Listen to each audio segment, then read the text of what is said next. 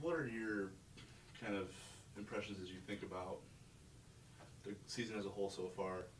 Things that you're pleased with what the team is doing, the progress that you guys have made since fall camp broke, and maybe things that you would like to see them do better. Um, you know, I, it is what I expected it to be. I knew these first three games were going to be very tough.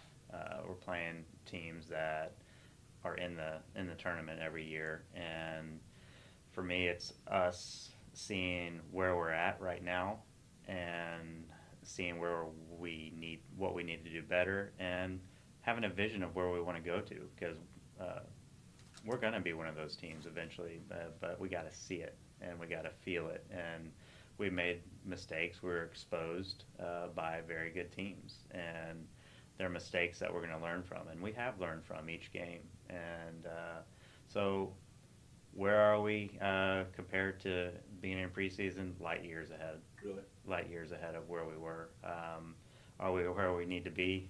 Not even close. Mhm. So. Uh, um, there's a there's quite a few things that uh, as a as a team uh, we know uh, we're going to have to improve on to have the season that we want to have.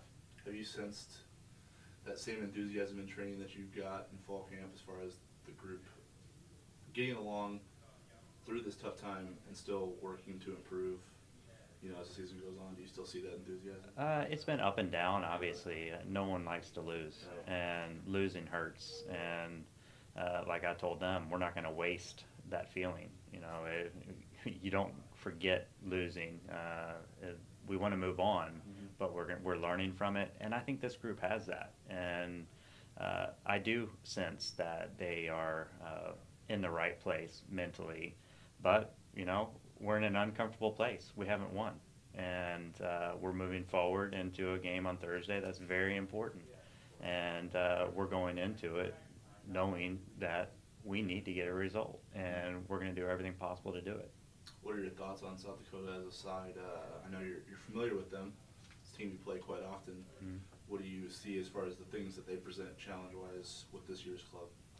Uh, you know, I think they're going to be organized and, and fight. Uh, I don't expect them to back down in any way. Uh, both teams have not won. Both teams have not scored. Right. Uh, so, Two uh, groups. yeah, it's going to be two hungry groups, and uh, I feel like we're in a good place from a team standpoint, knowing what we need to do to start getting goals and know what we need to do to keep a clean sheet. Uh, I mean, we've done great in the first half Mhm. of every game, Mhm. Uh, but we haven't put 90 minutes together. We've done some great things in bits and pieces, but the only way we're going to get to the level we want to get to is is do what we do for 90 minutes. And